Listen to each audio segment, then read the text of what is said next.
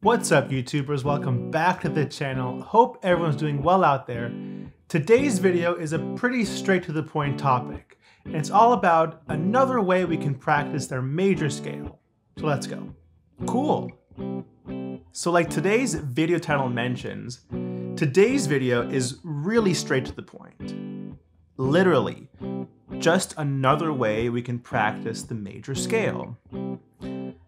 I am a huge believer on understanding the major scale to the best of your ability. It's such a crucial, fundamental, and foundation building block on the guitar that will take you very, very far. And today's video is just that just another way we can practice the major scale to help us expand the fretboard. You know? So, for today's video, let's be in the key of G. That seems appropriate, it's pretty low on the guitar. Pretty simple. G, A, B, C, D, E, F sharp, G.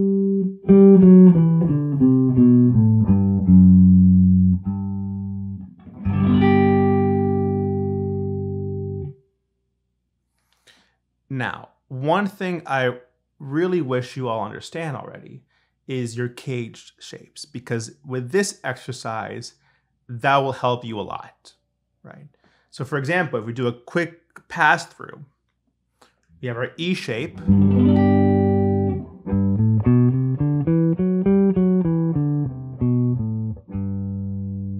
We have our D shape.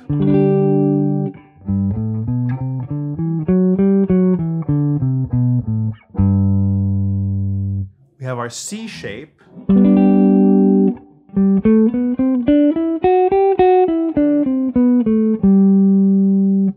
We have our A shape.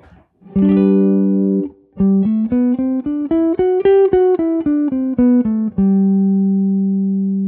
then finally, we have our G shape.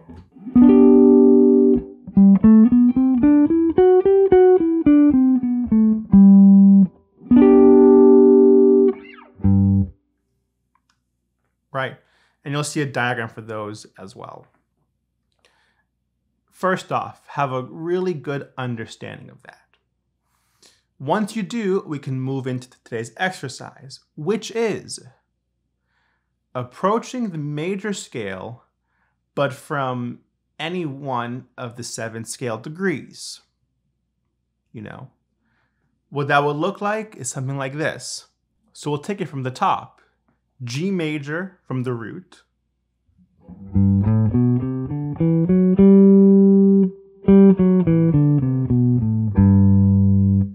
G major scale from the second degree.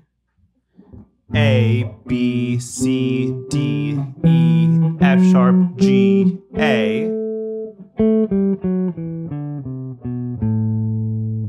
G major from the third degree, from the B, B, C, D, E, F sharp, G,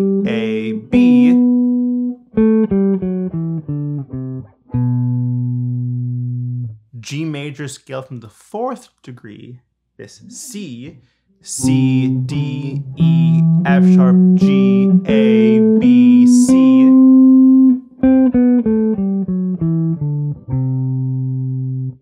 G major scale from the fifth degree, this D, D, E, F sharp, G, A, B,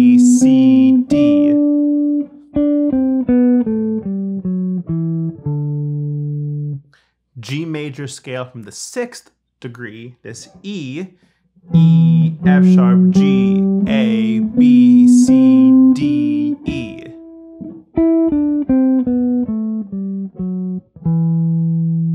And then finally, G major scale from the seventh degree, the F sharp. F sharp, G, A, B, C, D,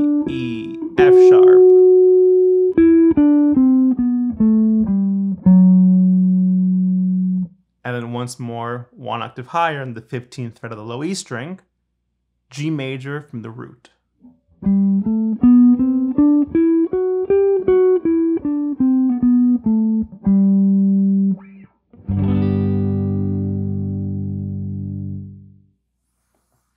right? It's a really fundamental exercise that at the beginning will kind of test you. Because in a perfect world, like in the demonstration, you want to start the lowest possible string, right? So, in conjunction with the caged system, that will sort of make you have to identify what position should I use to make this scale practical, if that's the right word. You know, so for example, this G major from the third degree, G major scale starting from the B, I just did like this.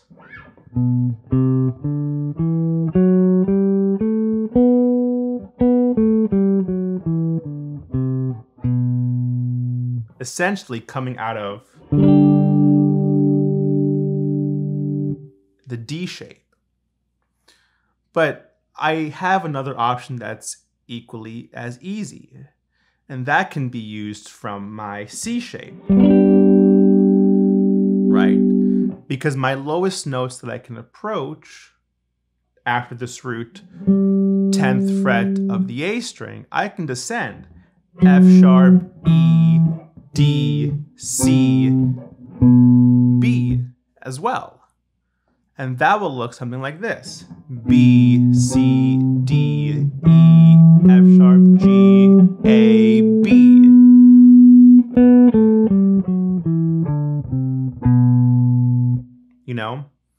this D as well, coming from, well, actually, I can do it two different ways. I can take it from the C shape, D, E, F sharp, G, A, B, C, D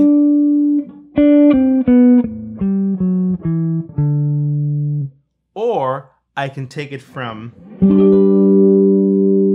the A shape because I can descend G, F sharp, E, D, and maybe C if I want to go a bit lower. And that can look something like this. D, E, F sharp, G, A, B, C, D.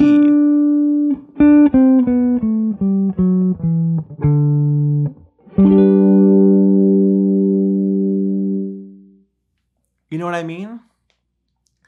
And so, how I would approach it, or I guess the building blocks to get to that point.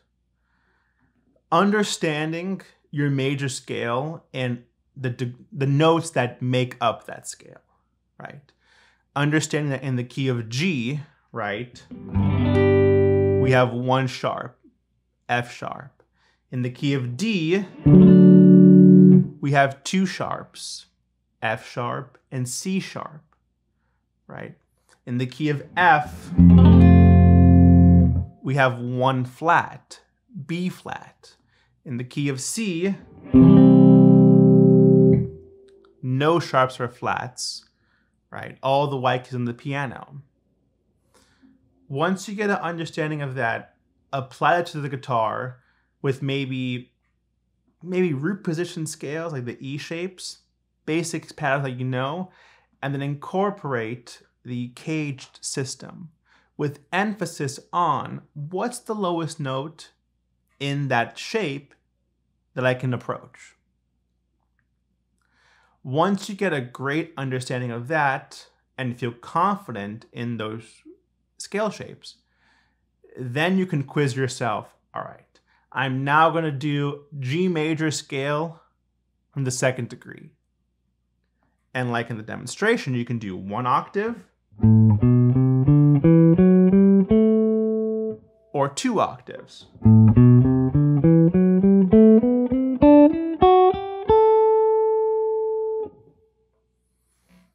Now I'm going to do C major scale starting from, let's say, the fourth degree. Now it becomes tricky, you know, because now you just changed keys. But if you break it down, it's just C major scale starting from the fourth degree, which is F. And as you practice, if it's easier, verbalize the notes as well. You know, so the fourth degree of C is F, but I'm not going to take it from here. I'll take it from down here. And I could practice it like F, G, A, B, C, D, E, F. And if I want to make it two octaves,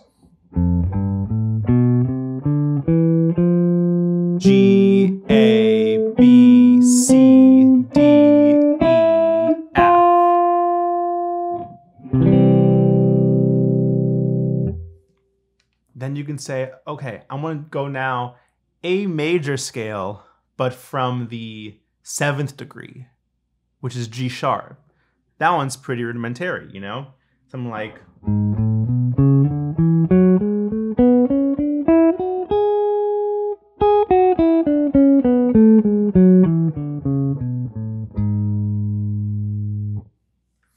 Let's do now D major scale from the uh, from the fifth degree, starting from the A. And that'll be A, B, C sharp, D, E, F sharp, G, A,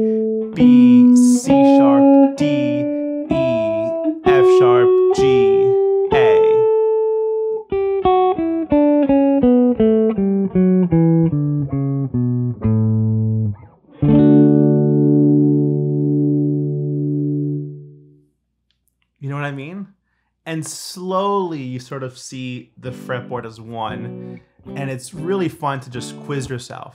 Do this from this degree. Do this from this degree. You know, start out with one octave, two octaves, and then if you feel really excited, you can do three octaves. so, in conclusion, you know, it's essentially understanding major scale and now practicing the major scale from any of the seven degrees. Well, all right, guys, that's today's video. If you enjoyed it, please leave a like, comment, and subscribe, and I'll see you on the next one.